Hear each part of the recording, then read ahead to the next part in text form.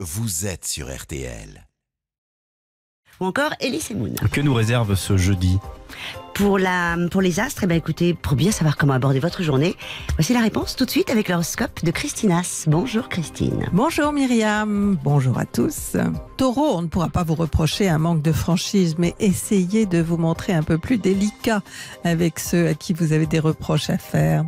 Gémeaux, vous aurez plus de liberté que d'habitude, probablement parce que vous avez pris quelques jours et que vous n'aurez pas à vous lever pour aller au boulot.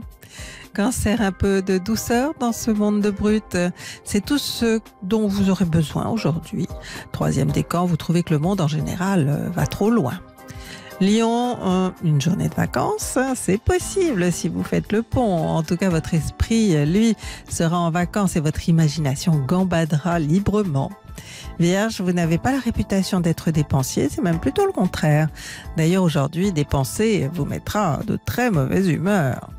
Balance, l'opposition de Mars et Jupiter est en pleine action jusqu'à mardi prochain, mais en ce qui vous concerne, elle est un fort booster pour vos affaires.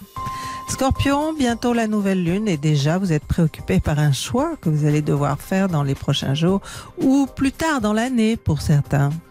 Sagittaire, le ciel a encore pour vous les yeux de chimène. Vous êtes plus dans le plaisir que dans le devoir, mais il y a un sacré ramdam pour les natifs du troisième décan. Capricorne, il est possible que vous ne fassiez pas le pont, votre travail, vos responsabilités. C'est sacré hein, pour votre signe. Le troisième décan surtout semble être dans le jus. Verseau, que vous travaillez ou non, vous serez nerveux, hyperactif et vous aurez tendance à houspiller votre entourage que vous trouverez un peu mou. Poisson, mobilisez-vous. Troisième décan, la dissonance entre Mars et Jupiter pourrait vous faire du tort. Il est possible qu'il y ait de la médisance, mais ça devrait rester en famille.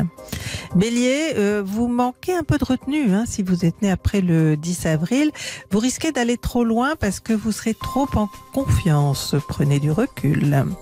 Bonne journée. Bonne journée Christine, merci. Euh, ici vous vous posez des questions sur votre vie amoureuse, consultez les prévisions de Christine Haas pour 2019. Rendez-vous sur rtlastro.fr et au 3210 50 centimes la minute.